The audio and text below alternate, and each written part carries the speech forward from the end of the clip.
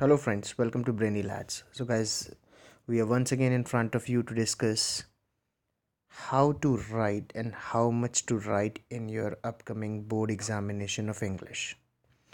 Guys आज हम discuss करेंगे कि आपके आंसर्स की लेंथ क्या होनी चाहिए आपको कितने वर्ड्स में आंसर लिखना है कितनी लाइंस में आंसर लिखना है आज सभी इस वीडियो के अंदर हम ये डिस्कस करने वाले हैं गैस हमारे पास शीट है एक टॉपर स्टूडेंट की जिसने बहुत अच्छा स्कोर किया था इंग्लिश के अंदर। तो आज हम उसकी शीट को आपके सामने लेकर आए हैं ताकि हम इसको डिस्कस कर सकें। देखिए, सबसे पहले शुरू करते हैं रीडिंग सेक्शन के बारे में। Very very important reading section.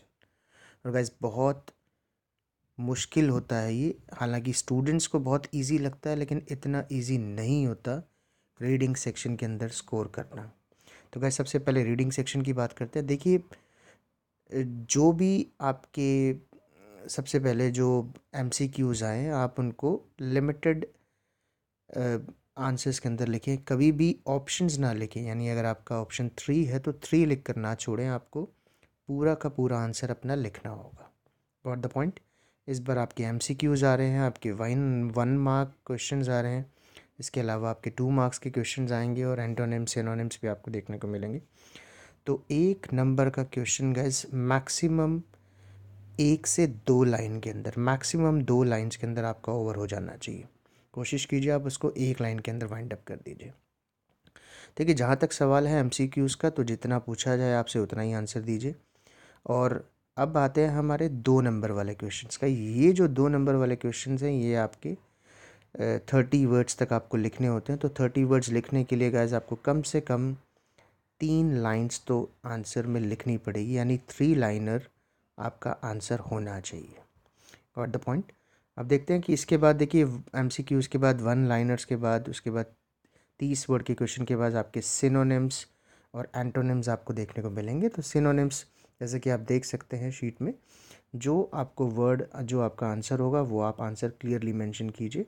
आप रोमन वन रोमन टू करके भी आंसर दे सकते हैं, जैसे कि यहाँ पर मैंशन है तो बस पहले दो कॉम्प्रीहेंशन आया करते थे आपके। इस बार आपको एक ही कॉम्प्रीहेंशन अनसीन पैसेज दिखाई देगा, जो कि बीस मार्क्स का आएगा, और उसके अलावा नोट मेकिंग जो पहले आठ मार्क्स की आया करती थी, इस बार आपको दस मार्क्स की दिखाई मिलेगी। चलते हैं नोट मेकिंग की तरफ़।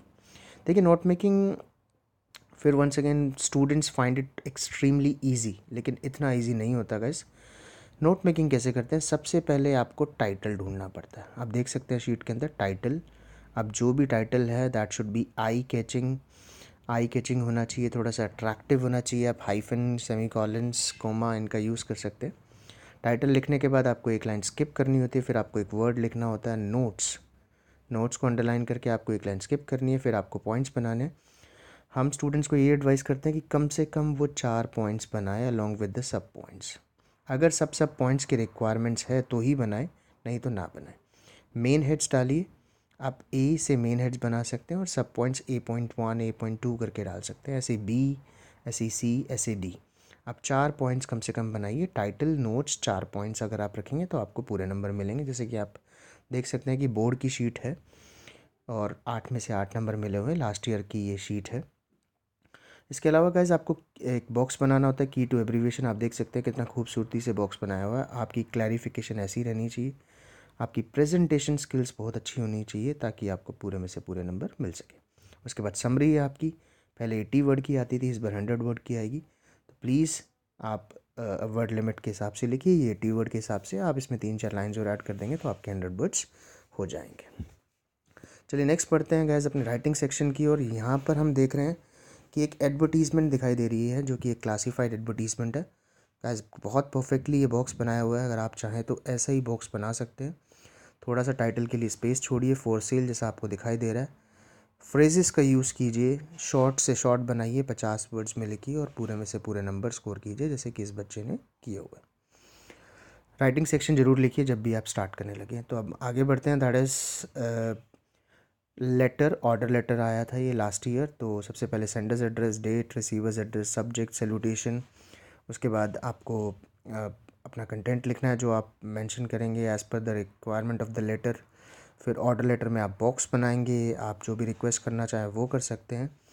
आप क्लोजिंग से एंड करेंगे और सब्सक्रिप्शन मेंशन कर देंगे गैस आपको यहाँ पे भी पूरे में से पूरे नंबर मिल जाएँगे। उसके बाद स्पीच आती है गैस स्पीच में आपको अगर आप चाहें तो टाइटल आपको बनाने की ज़रूरत नहीं है टाइटल नहीं लिखिए लेकिन अगर आप चाहें तो बना भी सकते हैं। स्पीच का फॉर्मेट देख लीजिए। थोड़ी सी वर्ड लिमिट शॉर्ट है इसमें, आपको वर्ड लिमिट बढ़ानी पड़ेगी, ताकि आप क्लियर से क्लियर अच्छे से अच्छा ज़्यादा से ज़्यादा स्कोर कर सकें। उसके बाद रिपोर्ट राइटिंग है। गैस एक चीज़ और मैं यहाँ ऐड करना चाहूँगा। देखिए मार्जिन आपको लेफ़्ट गिवन होगा लेफ़्ट मार्जिन बना होगा। आपको राइट मार्जिन खुद बनाना पड़ेगा, ताकि आपको आपके पेपर में क्लैरिटी आए थोड़ी सी ब्यूटिफिकेशन हो सके। राइट हैंड साइड पे भी एक मार्जिन खींच लीजिएगा। ताकि आपका कंटेंट अच्छा लगे, जैसे कि इस शीट के अंदर खूबसूरत कंटेंट दिखाई दे रहा है। कैसे आगे बढ़ते हैं, हम अपनी रिपोर्ट की तरफ़। देखिए रिपोर्ट में सबसे पहले आप सब्जेक्ट यानी टाइटल डालिए हेडिंग डालिए, उसके नीचे बाय करके अपना नाम लिखिए।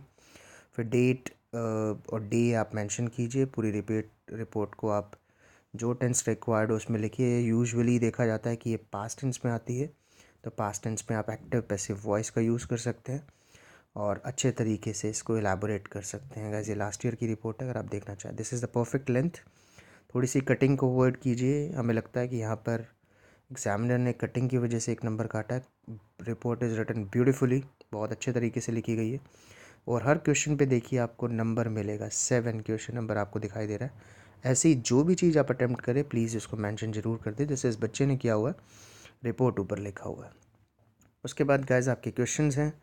लिटरेचर के पहला जो एक्सट्रैक्ट के क्वेश्चन है, देखिए कितनी लेंथ आपको लिखनी है this is the perfect length जितना आपसे पूछा जाए, उतना मेंशन कीजिए। एग्जैजरेट करने की कोशिश मत कीजिए, उसको बढ़ाने चढ़ाने की कोशिश मत कीजिए।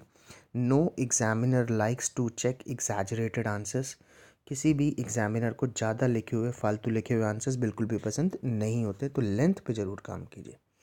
तो ये था एक्सट्रैक्ट चार नंबर का, चार में से चार नंबर है, इसके अलावा हम आते हैं शॉर्ट आंसर टाइप क्वेश्चंस पे।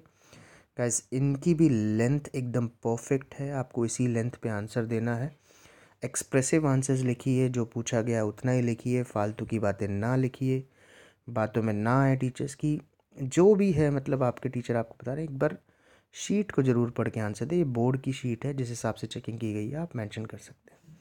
देखिए, चारों आंसर्स मैंशनड हैं। आपको चार क्वेश्चंस करने होते हैं, ये चारों मैंशनड हैं। उसके बाद आगे बढ़ते हैं। लॉन्ग आंसर टाइप क्वेश्चन पे। गैस यहाँ पर थोड़ी सी लेंथ इस बच्चे की छोटी दिखाई देती है। आप तीन चार लाइंस और ऐड कर लें जब भी आप लॉन्ग आंसर टाइप क्वेश्चन लिखें। क्वेश्चन नंबर टेंथ में आपको दिखाई दे रहा है। क्वेश्चन नंबर इलेवेंथ में आपको दिखाई दे रहा है। क्वेश्चन नंबर ट्वेल्थ में भी आप देख रहे हैं। थोड़ी सी लेंथ छोटी आप तीन चार लाइंस और ऐड कीजिए इसके अंदर ताकि आपको पूरे में से पूरे नंबर मिल सकेगा ये है नोवल के क्वेश्चन क्वेश्चन नंबर ट्वेल्थ और थर्टीनथ जहाँ पर कैरेक्टर स्केच बात की गई है ग्रिफिन के कैरेक्टर स्केच की और डॉक्टर कैम्प के कैरेक्टर स्केच की। तो थोड़ा सा अगर आप कंटेंट अच्छा लिखेंगे एक्सप्रेसिव लिखेंगे तो आपके पूरे में से पूरे नंबर आपको मिल जाएँगे। तो गैस ये थी आपकी शीट इसके अलावा अगर आप आ, कुछ डिस्कस करना चाहें या कुछ बताना चाहें तो हम आप हमें कमेंट बॉक्स में मेंशन कर सकते हैं। गैस एक बार फ्री फिर इसको गो थ्रू कीजिए अच्छी तरीके से। कितनी लेंथ होनी चाहिए? क्वेश्चन नंबर वन की क्वेश्चन नंबर सेकंड की सेकंड कॉम्प्रीहेंशन अब नहीं आता। है नोट मेकिंग कैसे बनानी है? वेरी वेरी क्लियर होना चाहिए आपके मन में, ताकि आपको कोई भी प्रॉब्लम ना आए। कैसे अगर आपको ये वीडियो अच्छी लगी हो तो प्लीज़ इसको शेयर कीजिए। हमारे चैनल को सब्सक्राइब कीजिए, ताकि आपको लेटेस्ट अपडेट्स मिल सके। कैसे एग्ज़ाम से पहले हम बहुत सारी चीज़ें आपके सामने लाएँगे, जो आपके बहुत काम आएगी एग्ज़ाम के अंदर। Thank you very much for watching this video thank you